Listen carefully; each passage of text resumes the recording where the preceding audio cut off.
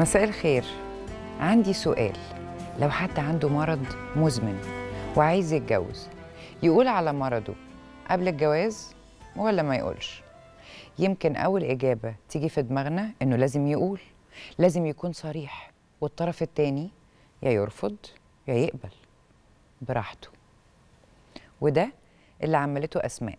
بطل القصة حقيقية النهاردة. بس كانت النتيجة إن كل ما حد يعرف مرضها بيتهرب منها لحد ما هي قررت إن هي تغير من طريقة تعاملها مع الموضوع. طب عملت إيه أسماء؟ تعالوا نقرأ رسالتها ونشوف بعدها تقول لنا إيه. اسمي أسماء وعندي 29 سنة معيدة في الجامعة. الناس بتشوفني ناجحة وشاطرة بس أنا تعيسة في حياتي وعندي أزمة كبيرة. هي اللي خلتني أبعت لكم حكايتي. أنا ربنا ابتلاني يا سالي في أصعب حاجتين ممكن أي بنت تبتلى فيهم الصحة والجواز. قضيت حياتي كلها متفائلة دايما فرحانة ونشيطة ومجتهدة وبحاول أطلع الأولى في كل حاجة سواء في الدراسة أو أي مهارة بتعلمها. كنت شعلة نشاط بلعب رياضة وفين وفين لما كنت بتعب أو أخد دواء. لحد ما بدأت أحس بأعراض غريبة في آخر سنة كلية منها ضعف في الحركة مشاكل في التنفس ونظري بدأ يضعف ووصل بيا الحال إني بقيت بقع كتير وأنا ماشية. رجلي ما بقتش شايلاني زي ما بيقولوا. قلت أكيد ده إرهاق وهرجع تاني كويسة بس فضلت في النازل الموضوع طول ابتديت أروح للدكاترة رحت لدكاترة كتير معرفوش يشخصوني. لحد ما واحدة صاحبتي قالت لي تعالي أوديكي عند دكتورة مناعة شاطرة. ورحت معاها. الدكتورة قالت لي انت مصابة بمرض مناعي نادر اسمه وهن العضلات. المرض ده بيضعف حركة الجسم بيأثر على حاجات كتير. لما سألتها طب إيه علاجه؟ قالت لي ده مرض مزمن وهيفضل معاكي طول حياتك ولازم تاخدي أدوية تظبط المناعة. وكورتيزون مدى الحياة. خرجت من عندها تايهة. جوايا ألف سؤال عن شكل حياتي اللي جاية ورد فعل أهلي. لما يعرفوا إن جالي المرض ده. لما فكرت شوية قلت الحمد لله. قضى؟ أخف من قضى. على الأقل عرفت أخيرا أنا عندي إيه. بعد شهور من اللف والدوران ورا الدكاترة عشان أعرف أنا عندي إيه من غير فايدة. الحمد لله. برضو الدكتورة طمنتني إني لو مشيت على الأدوية هقدر أمارس حياتي بشكل طبيعي. لكن جات لي حالة اكتئاب فظيعة.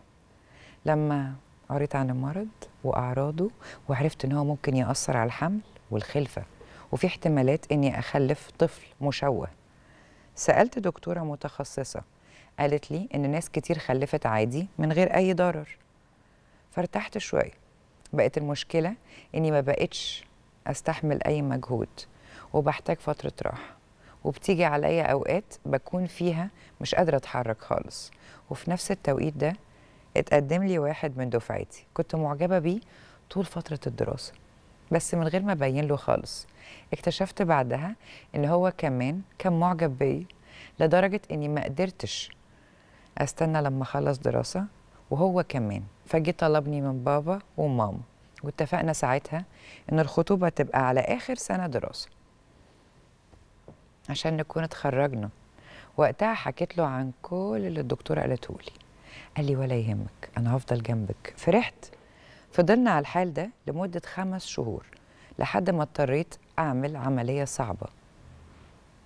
سابني بعد العملية بشهر من غير أي مقدمات. حاولت أفهم منه ليه. قال لي إنه تعبان ومش عايز يظلمني. وأنا من سذاجتي قلت له ولا يهمك أنا هفضل معاك. العمر كله زي ما أنت قلت إن أنت هتفضل جنبي العمر كله. اتمسكت بيه لكنه رفض برضه وقال لي كل شيء اسمه نصيب فضلت لفترة طويلة بتألم بقعد أعيط خاصة إنه ألم ووجع العملية كان لسه موجود والجرح كان لسه ما قفلش. بالمناسبة الشخص ده دلوقتي اتجوز وخلف وكمان جاب ولد. وسماه نفس الاسم اللي كنا متفقين عليه لما كنا مرتبطين. المهم قلت لبابا وماما إن أنا لازم أعتذر السنة دي وما أدخلش امتحانات لأني تعبانة جدا مش مهيئة نفسيا. لكن زعل بابا وماما خلاني أحاول أقف على رجلي من تاني. دعيت ربنا كتير إنه يساعدني. بدأت أحط كل طاقتي في المذاكرة. كنت بذاكر يا سالي وأنا بعيط كل يوم. بتحدى كل الظروف عشان ما زعلش أبويا وأمي. لحد ما الحمد لله نجحت وبامتياز كمان. جالي تعيين معيدة في الكلية. في الأول فكرت أسيب التعيين عشان تعبي. خفت ما أقدرش على شغل الكلية والتحضير والكلام ده. لكن الدكتور اللي بيتابع حالتي وماما وبابا وإخواتي كلهم شجعوني لحد ما استلمت التعيين الحمد لله. في الوقت ده كنت كل ما أروح حتة كان بيجي لي عريس. الحمد لله أنا على قدر كبير من الجمال وأنا جميل أنا مبسوطة بيكي والله. وكانوا بينبهروا بيا. بس أول ما يعرفوا إني مريضة كلهم بيجروا. كأنهم مثلا حاسين إن أنا عملت جريمة بشعة. أو مثلا شافوا عيب في أخلاقي. هتقولي لي في ستين داهية. هقول لك ماشي.